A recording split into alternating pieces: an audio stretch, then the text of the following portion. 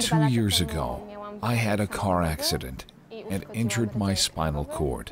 I didn't know if there was any activity in my muscles, and I couldn't move my legs. After a while, and thanks to Luna, with my muscles connected to it, I could see how to perform certain movements.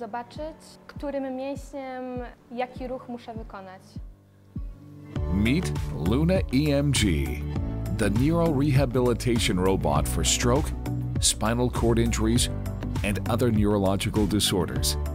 It enhances neuroplasticity through EMG triggered exercises, providing active training, even for patients with severe motor deficits.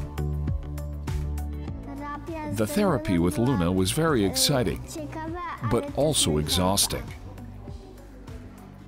Luna is quick to use. It is easy to adjust to a patient and perform various exercises. That is a huge advantage to this device. Another benefit is the combination with EMG. You get a quick answer whether the muscle has contracted and how much. Is that activity what we've aimed for? Are the antagonists working? And is there any compensation?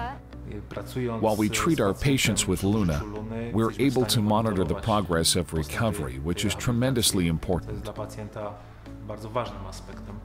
Especially in the case of neurological patients who are in rehabilitation for an exceptionally long time.